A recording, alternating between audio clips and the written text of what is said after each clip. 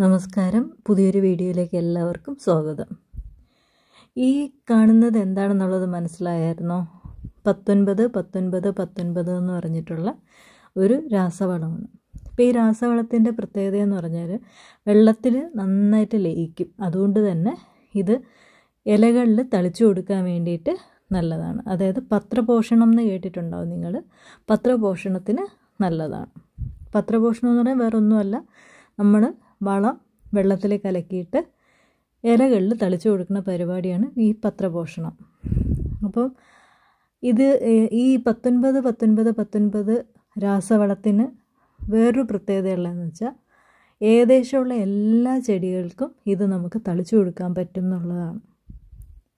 അതായത് പച്ചക്കറികൾക്ക് പറ്റും ഫ്രൂട്ട് പ്ലാന്റ്സിന് പറ്റും പിന്നെ അലങ്കാര ചെടികൾക്ക് പറ്റും അങ്ങനെയുള്ള എല്ലാത്തിനും തളിച്ചു കൊടുക്കാം. അപ്പോൾ ഇതിന്റെ ഡോസ് പറയണമെന്ന് വെച്ചാൽ രണ്ട് മുതൽ മൂന്ന് ഗ്രാം ഒരു ലിറ്റർ വെള്ളത്തിൽ മിക്സ് ചെയ്തിട്ടാണ് നമ്മൾ തളിച്ചു കൊടുക്കാൻ പറയുക. അപ്പോൾ ഇത് നമുക്ക് എപ്പോഴ ഇതുകൊണ്ടുള്ള പ്രയോജനങ്ങൾ എന്ന് പറഞ്ഞാൽ ഒന്ന് ഒരിക്കലും നമ്മുടെ ചെടിക്ക് ആവശ്യത്തിനുള്ള പോഷകങ്ങൾ കിട്ടാതിരിക്കില്ല. അതായത് മൂന്ന് മൂലകങ്ങളും അതായത് നൈട്രജൻ ഫോസ്ഫറസ് പൊട്ടാസ്യം ഇത് മൂന്നും തുല്യ അളവിലുള്ളത് കൊണ്ട് തന്നെ ഇത് തളിക്കുമ്പോൾ തന്നെ ചെടിക്ക് ആവശ്യത്തിനുള്ള പ്രഥമ മൂലകങ്ങളായിട്ടുള്ള നൈട്രജനും ഫോസ്ഫറസും പൊട്ടാസ്യവും കിട്ടിക്കഴിയും.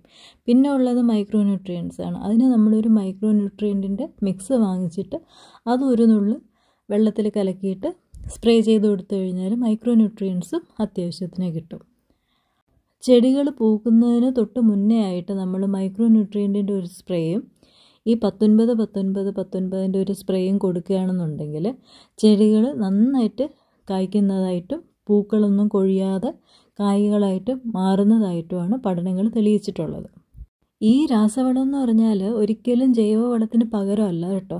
ജൈവവളം നമ്മൾ കൊടുക്കുക തന്നെ വേണം. ചെടികൾക്ക് ജൈവവളം കൊടുത്തില്ല എന്നുണ്ടെങ്കിൽ മണ്ണിന് ജീവൻ ഉണ്ടാവില്ല അതുകൊണ്ട് തന്നെ നമ്മൾ ഉദ്ദേശിക്കണ ഒന്നും ചിലപ്പോൾ നടക്കണമെന്നില്ല നമ്മൾ ജൈവവളം കൊടുത്തില്ല എന്നുണ്ടെങ്കിൽ ഇതെന്ന് പറഞ്ഞാൽ അതിന്റെ ജൈവവളത്തിൽ നിന്ന് കിട്ടുന്ന മൂലകങ്ങൾ അതായത് നൈട്രജനും ഫോസ്ഫറസും ഒക്കെ വളരെ കുറവാണ്.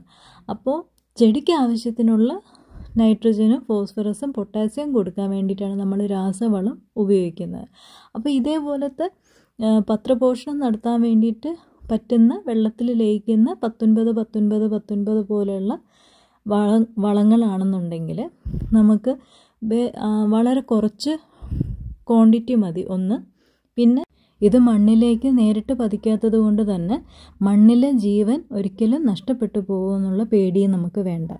പലരും പറയും രാസവസ്തുക്കൾ ഉപയോഗിക്കുകയാണെന്നുണ്ടെങ്കിൽ അല്ലെങ്കിൽ രാസവളങ്ങൾ ഉപയോഗിക്കുകയാണെന്നുണ്ടെങ്കിൽ മണ്ണിലെ ഗുണം അതായത് ജീവൻ പോകും എന്നുള്ളത് സത്യമാണ്.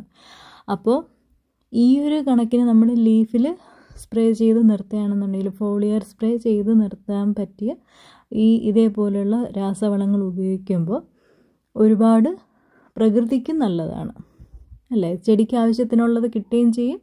എന്നാൽ പ്രകൃതിക്ക് ദോഷവുമില്ല. ഇനിയൊരു സംശയം എല്ലാവർക്കും തോന്നുന്നതെന്ന് വെച്ചാൽ എപ്പം മുതൽ നമുക്ക് ചെടികൾക്ക് ഇത് കൊടുത്തു തുടങ്ങുന്നതാണ്? അതായത് ഏത് പ്രായം മുതലുള്ള ചെടികൾക്ക് പത്തൊൻപത് പത്തൊൻപത് പത്തൊൻപത് സ്പ്രേ ചെയ്ത് കൊടുക്കുക എന്നുള്ളത് അതായത് നമ്മൾ തൈകൾ പറിച്ച് നട്ട് രണ്ടാഴ്ച കഴിഞ്ഞതിന് ശേഷം നമുക്ക് ഇത് കൊടുത്തു തുടങ്ങാം.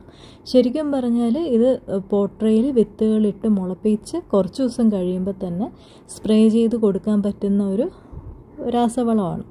അപ്പോൾ വളരെ കുഞ്ഞായിരിക്കുമ്പോൾ തന്നെ നമുക്ക് ചെടികളിൽ അപ്ലൈ ചെയ്യാൻ പറ്റും.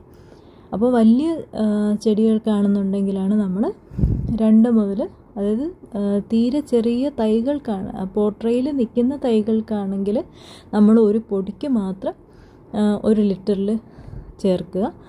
ജസ്റ്റ് ഒരു പോയിന്റ് ഫൈവ് ഗ്രാം അങ്ങനത്തെ കണക്കിന് അതായത് ഒരു നുള്ള് ഒരു ലിറ്റർ വെള്ളത്തിൽ ചേർത്തിട്ട് സ്പ്രേ ചെയ്ത് കൊടുക്കും സാധാരണ. അതേസമയം പറിച്ച് നട്ട ചെടികൾക്കാണെന്നുണ്ടെങ്കിൽ രണ്ട് മുതൽ മൂന്ന് ഗ്രാമാണ് ഒരു ലിറ്റർ വെള്ളത്തിലേക്ക് പറയണം അപ്പോൾ ഇത് നമുക്ക് അളന്നെടുക്കാനൊന്നും എല്ലാവർക്കും പറ്റില്ല. അപ്പോൾ ഒരു നുള്ള് എന്നുള്ള കണക്കിന് ഒരു ലിറ്റർ വെള്ളത്തിൽ മിക്സ് ചെയ്യുക.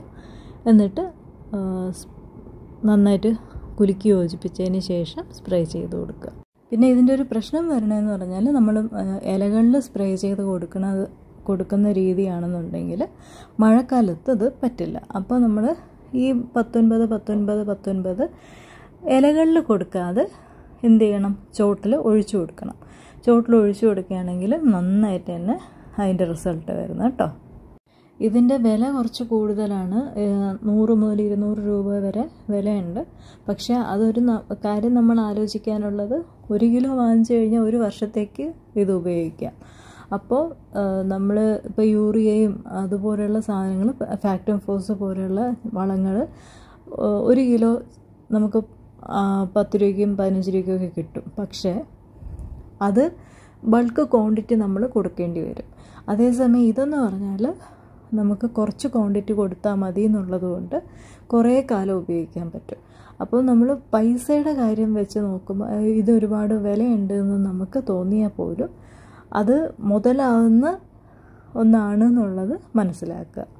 പിന്നെ ഇത് അലങ്കാര ചെടികൾക്ക് കൊടുക്കാൻ പറ്റുമെന്ന് പറഞ്ഞാലോ? അലങ്കാര ചെടികൾക്കൊക്കെ മാസത്തിൽ ഒരു പ്രാവശ്യം രണ്ട് മാസം കൂടുമ്പോൾ ഒരു പ്രാവശ്യം കൊടുത്താൽ മതി കേട്ടോ. ഇത് പച്ചക്കറികൾക്ക് കൊടുക്കും പോലൊന്നും നമ്മൾ അലങ്കാര ചെടികൾക്ക് കൊടുക്കേണ്ട കാര്യമില്ല.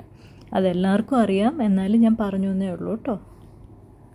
പിന്നെ റോസ പോലെയുള്ള അലങ്കാര ചെടികൾക്ക് നമ്മൾ ഇത് ഉപയോഗിക്കുന്നതിനേക്കാളും പത്തൊൻപത് പത്തൊൻപത് പത്തൊൻപതിനേക്കാളും നല്ലത് ഡാപ്പ് എന്ന് പറഞ്ഞിട്ട് ഡൈ അമോണിയം ഫോസ്ഫേറ്റ് ആണ് അപ്പോൾ ഓരോ ചെടികൾക്കും വ്യത്യാസമുണ്ട്. ഇപ്പോൾ എല്ലാത്തിനും നമ്മൾ പത്തൊൻപത് ഉപയോഗിച്ചാൽ നല്ലതാണെന്ന് ഞാൻ പറയണില്ല. നല്ലതാണ് നല്ലതാണ്. പക്ഷെ അതിന് ഇപ്പം റോസ് പോലെയുള്ള ചെടികൾക്ക് അല്ലെങ്കിൽ ബൊഗൈൻ വില്ലയ്ക്കൊക്കെ നമ്മൾ പത്തൊൻപത് പത്തൊൻപത് പത്തൊൻപത് കൊടുക്കുന്നതിനേക്കാളും ഒരുപാട് നല്ലത് ഡൈ അമോണിയം ഫോസ്ഫേറ്റ് എന്ന് പറഞ്ഞിട്ടുള്ള വളം കൊടുക്കുന്നതാണ്. അപ്പോൾ ഈ വ്യത്യാസങ്ങൾ അറിഞ്ഞിട്ട് നമ്മൾ ഓരോ വളങ്ങളും പ്രയോഗിക്കുക. അത് പോകെ പോകെ നമുക്ക് കിട്ടുന്നതാണ്. അത് ഒരു സുപ്രഭാതത്തിൽ നമുക്കത് മനസ്സിലാവണമെന്നില്ല.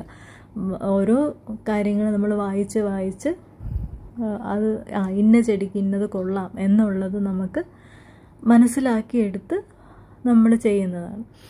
ഈ വളം ഏകദേശമുള്ള എല്ലാ ചെടികൾക്കും ഉപയോഗിക്കാമെങ്കിൽ കൂടി ചില ചെടികൾക്ക് ഇതിനേക്കാളും നല്ലത് വേറെ ഏതെങ്കിലും രാസവളങ്ങളായിരിക്കും.